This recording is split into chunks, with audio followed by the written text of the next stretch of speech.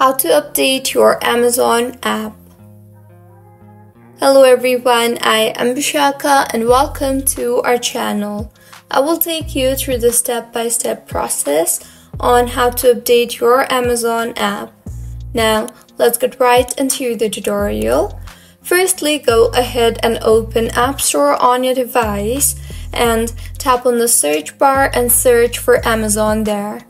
Now, if your Amazon application requires an update, then it will show update instead of open.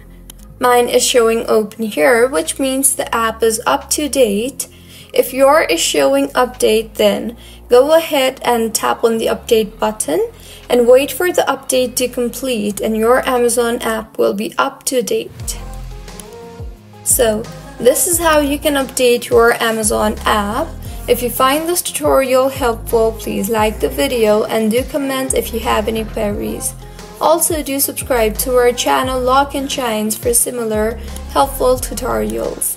See you on the next one.